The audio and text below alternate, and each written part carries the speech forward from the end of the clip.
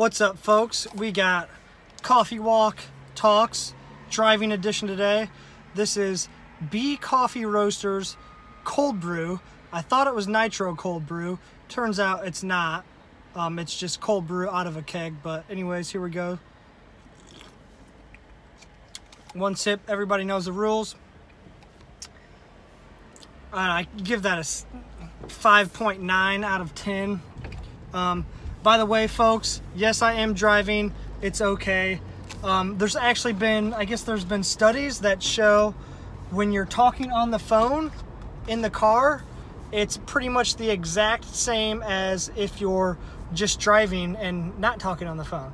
So the safety concerns, you don't have to you don't have to be concerned. Um, but anyways, not the topic of this conversation here today.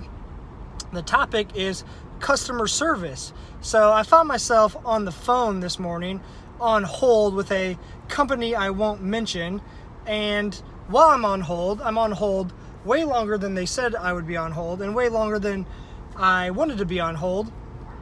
But as I'm on hold, you have the the automated voice message that just continues, continues, continues, and it drives you crazy.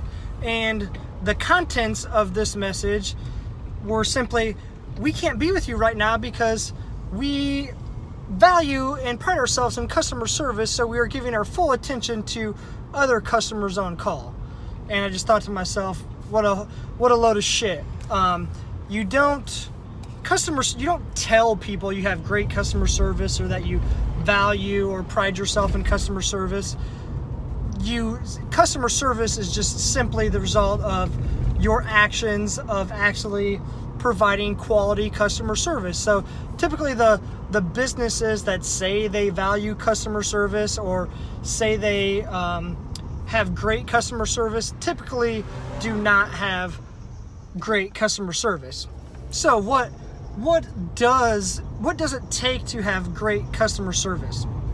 And the reality is it's obviously your interactions with the customers or the people who buy the people that buy your products.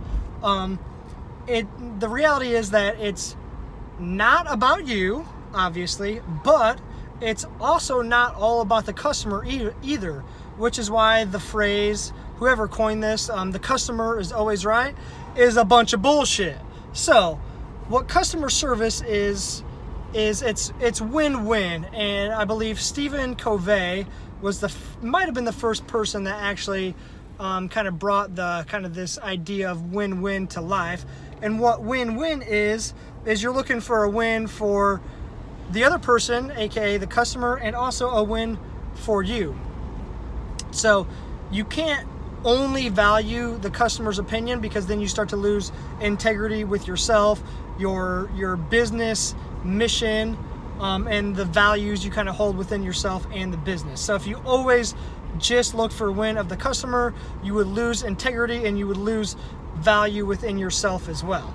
Now, if you only think of, man, I think I'm in the ghetto right now. If you only think about winning yourself, so win lose, that is um, you're essentially being selfish and you're probably not providing much value at all at this time. So if you're only thinking about yourself, you come across as selfish. People might not might, not like you as a person. They might not like you as a professional. They might not enjoy um, your business and want to buy any products from you in the future.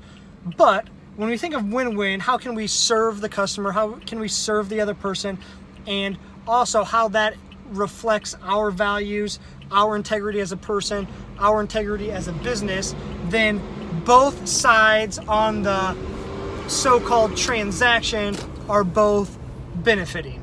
And holy shit, I am definitely in the ghetto right now. I went out of my way to get me some cold brew and I have no idea where I'm at, where I am.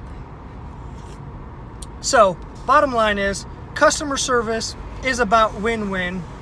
And don't talk about having customer service.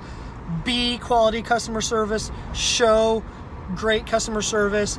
Act in um, a kind of a win-win scenario where you're providing value, but you're also staying within integrity of yourself and your business. That's Coffee Walk Talks for you here today.